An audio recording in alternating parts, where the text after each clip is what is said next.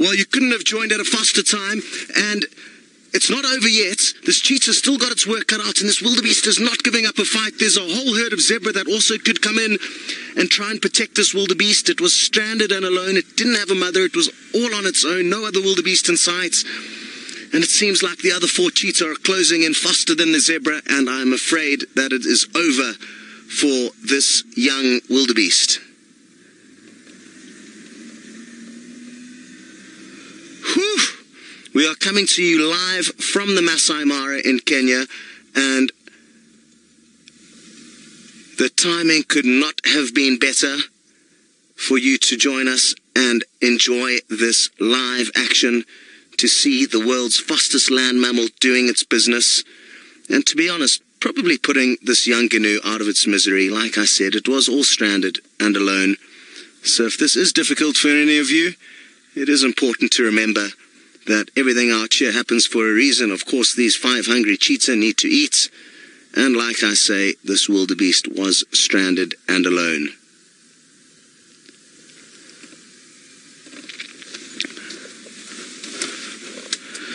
Hello, Kobe. I couldn't agree more. This is absolutely amazing. My name's Scott. I'm teamed up with Jandre on camera. Good work capturing that action. Let's get you a little bit closer in. We spent the whole evening with these cheetah and left them at about 9.30 this morning. Went and had a snooze and just got back about an hour ago.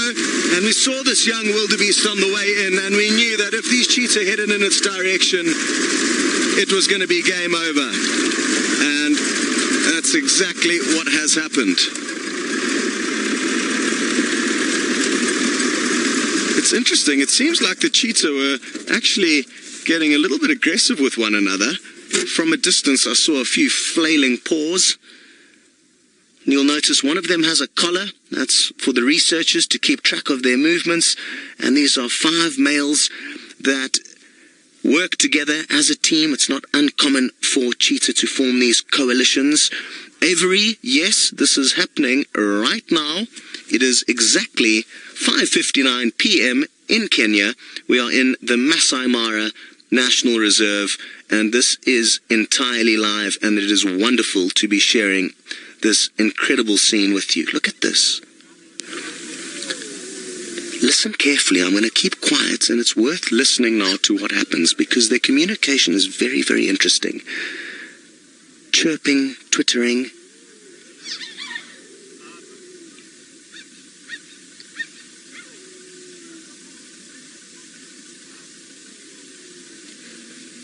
With these guys, it's hard to keep track of who's who, unless, of course, it's the male with the collar. But I'd be very interested to know which individual led this charge, because I'm fairly certain the other four also saw this wildebeest, yet it was only one that showed the initiative to lead the charge and bring down this meal for the rest of his coalition. In the short time that we have been spending with these boys, Dartonian, who is the male with the collar, seems to have been the most dominant and lead most of the hunts. However, the behavior we're seeing now is quite different, and it seems like it's a bit of an even playing field.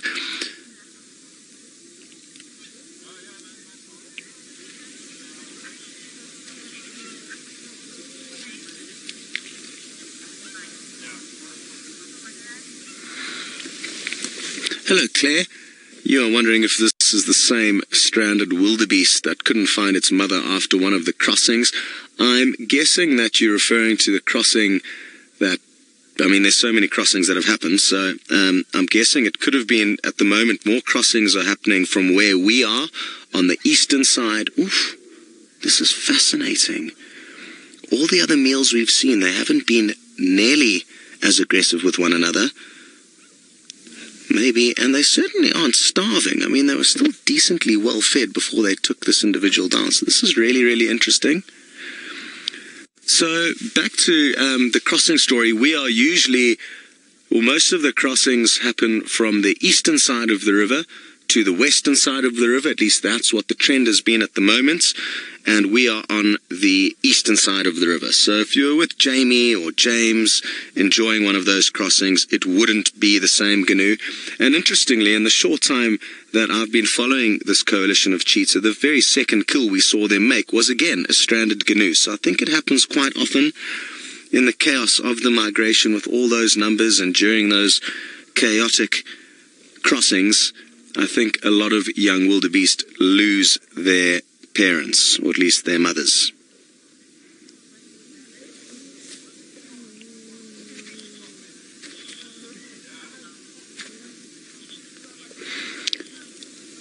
Hello to Rishi. You interested to know how long will it take them to finish up this young gnu? And I'm guessing it will be done quite quickly, possibly half an hour to 45 minutes. That is, of course, unless hyena, lion, don't come in and chase them off it. There's a high reality of that happening. Last night we were sleeping with these cheetah not too far from here, and we had by far the most hyena activity stopping in and checking out the, these hyena throughout the night. So I think the hyena population in this area is very high. So they could well get wind of things. There could be one sleeping in a bush nearby that will hear this chattering commotion of these cheetah trying to work out who's going to sit where at the dinner table tonight. Hello, Linda. You would like to know how old these cheetah are?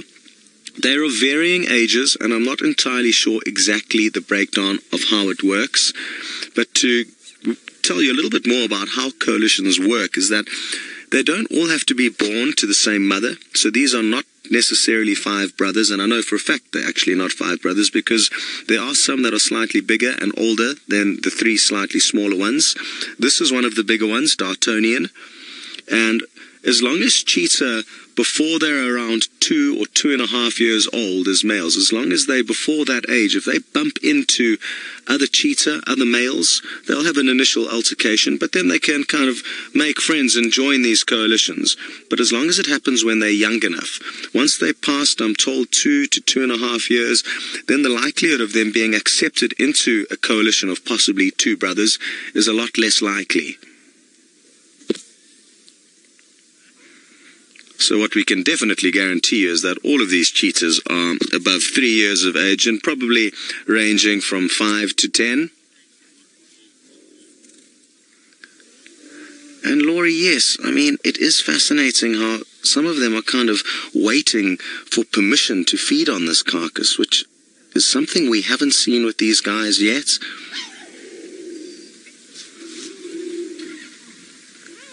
And this won't be the only time they fight with one another.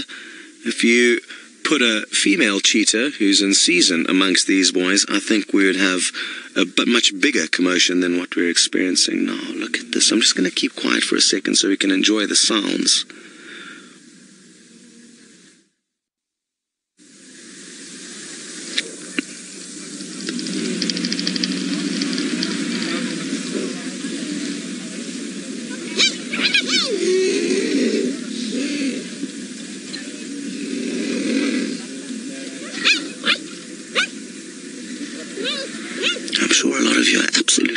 Fascinated by the sounds you're hearing coming out of these cheetah.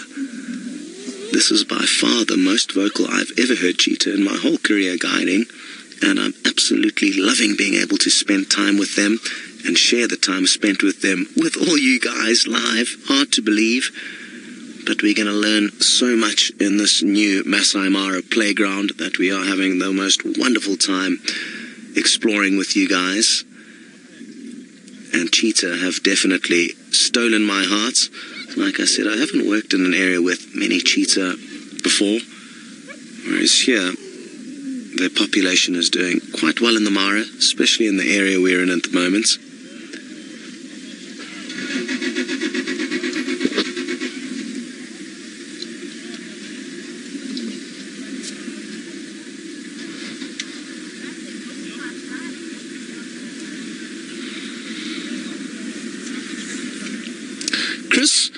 Yes, I agree with you. You've mentioned that it seems like they're having a difficult time opening this carcass up, and it's probably because they're so busy squabbling with one another. The other one that they caught, of a very, very similar size, a couple of weeks ago, there was no bickering, no squabbling, and certainly a lot more efficient and effective feeding.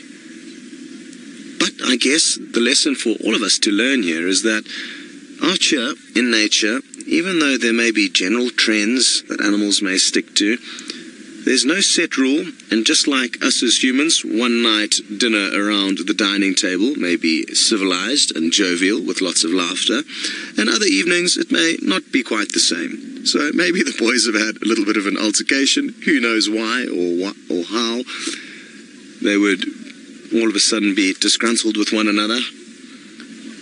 I'm just going to ask Jandre to zoom out to give you a view of the surroundings here because it's quite a spectacular scene the open plains of the Masai Mara. I mean, look at that. Absolutely beautiful and perfect, perfect habitat for these cheetah to do their business in. They were sleeping under that tree on the top left of the screen before they waltzed down the hill. And that's just when we've invited you to join us with this live safari action.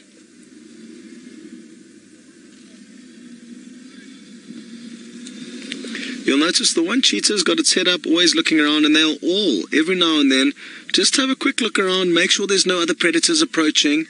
They do run a high risk from being killed by lion and leopard, and possibly even hyena, if a hyena manages to get a hold of one.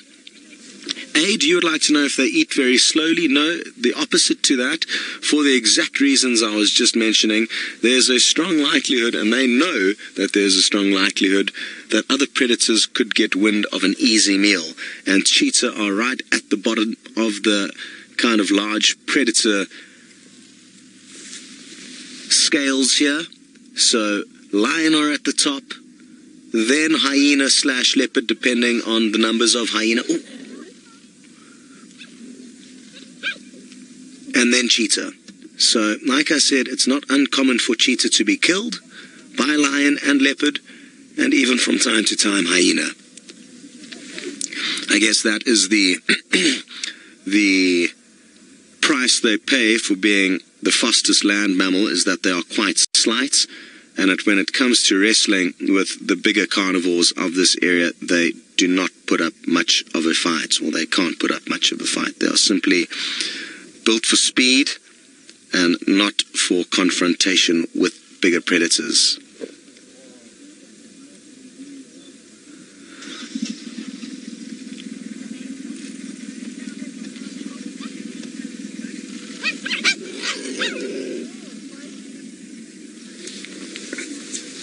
Toby, I agree completely. It is bizarre that they are being so vocal and they continue to do so as we speak.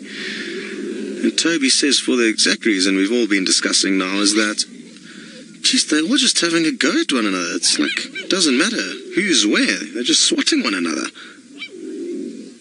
And the reason being is that all this commotion could give away their position to all these other predators that we've been talking about. So, absolutely fascinating. I'm going to enjoy spending some time with the cheetah researchers when we get a moment and be able to pick their brains and ask them a little bit more about these animals and what their kind of general behavior is because we sadly just haven't had time to sit down and chat with them yet. We've either been out in the field trying to get you guys as close to this action as possible or fixing our very intricate equipment and toys or sleeping. So those are the kind of three things that the Safari Live team are doing. They're out scanning the plains, sleeping, or fixing things. So we haven't had too much time to chat with some of the local folk who are going to be able to give us more info on these animals. Peggy, yes, they sound a little bit like hyena. Guess they're almost a cackling laugh. It would be very interesting to hear the commotion if some hyena come onto the scene. That is for certain. And what's interesting last night with all the hyena that did pop in to check that there wasn't an easy meal waiting nearby the sleeping cheetah is that most of the times the cheetah would actually leave the hyena alone and they would allow the hyena to come within meters of them, just sniffing around looking. But on other occasions, the cheetah just wouldn't tolerate certain hyenas. So you don't know. I mean, I ask myself the question do these predators know their competition individually and tolerate some more than others? Because the fact that one hyena can come close to them and sniff around and the other can't was very, very interesting. And what the cheetah will do when animals like hyena come in or other cheetah is they kind of rear, not rear up, but they'll lurch forward with their two front feet slamming, two front legs slamming down into the ground. That's how they kind of create an intimidating scene to try and deter whatever competition may be lurking about. I have actually on one occasion, um, the few times we saw cheetah in the area of the Sabi Sands where I started my career as a guide, it was actually really interesting. We saw a hyena walking along an open plain, not hugely different to this, and it crossed the trail of where we had followed the cheetah. The cheetah had been kind of up and down that afternoon, but when we were at the time the hyena came onto the scene, it was lying down, and the hyena picked up the scent of the cheetah as it bisected its path, and then got onto that trail and started following it, knowing that it could well find a meal and a cheetah at the end of it.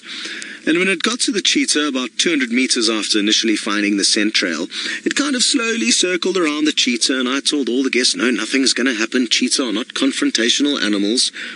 And all of a sudden, this male cheetah just burst out and walloped the hyena on the bottom as it headed towards the hills. So, even though it's not likely for that to happen, or at least I didn't think it was, even cheetah will give hyena the odd slap when the time is right.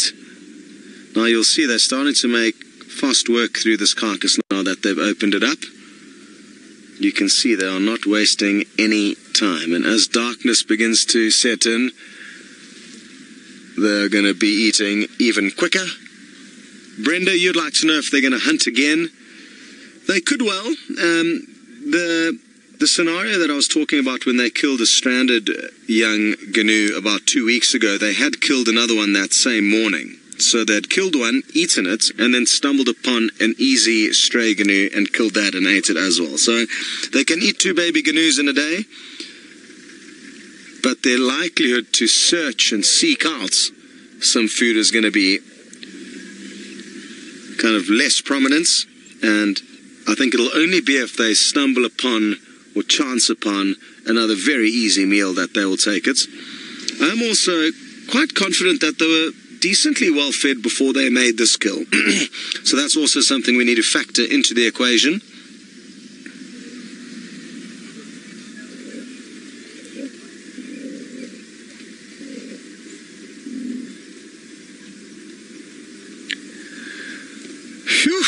Well, I'm glad we got we got you guys on board when we did. We almost missed the action, so that was just in time. And what an absolute treat to be spoilt with such high intensity action on a beautiful uh, Mara afternoon.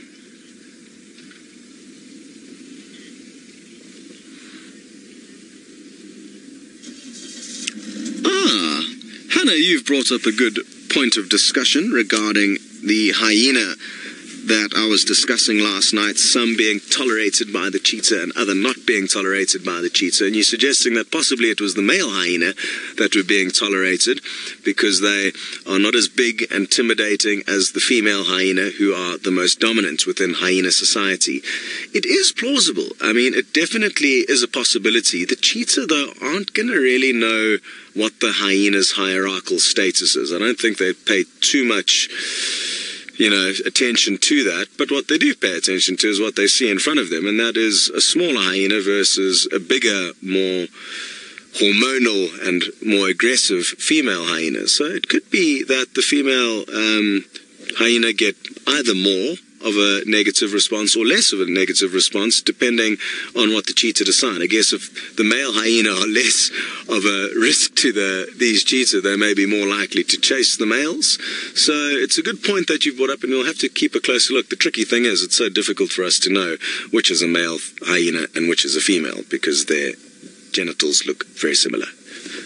So after dark, it's going to be tricky to know exactly who's who, but it is going to be something that we should definitely look into. So thanks for planting that seed.